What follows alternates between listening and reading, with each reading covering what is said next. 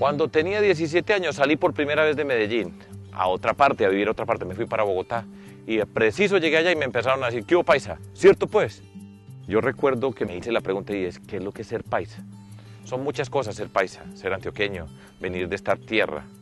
La que más me gusta a mí es esa visión que asocia ser paisa con ser atrevido, inteligente, explorar, ser capaz de construir cosas nuevas, apostarle al espíritu humano y a la capacidad que tenemos nosotros para resolver tantos problemas.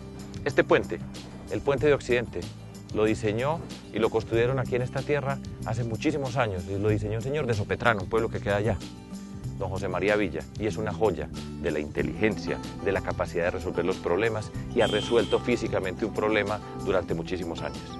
Es Antioquia, donde hay gente que se ha destacado en tantas ramas de lo que se llama el desarrollo del espíritu humano. Esa es la Antioquia que a mí me gusta.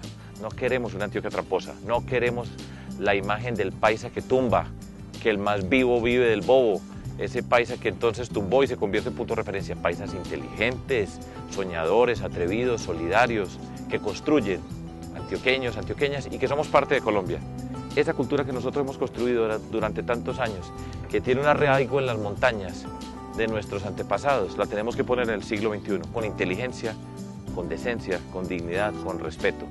Ahí le podemos apostar que Antioquia se mueva alrededor de la cultura, que es una de nuestras grandes riquezas. Viene de antaño y hoy en el siglo XXI la tenemos que convertir en una riqueza del siglo XXI. Decencia, dignidad, respeto, inteligencia. Una Antioquia limpia, transparente, que juega limpio, que juega legal, que vuela. No Antioquia de la trampa.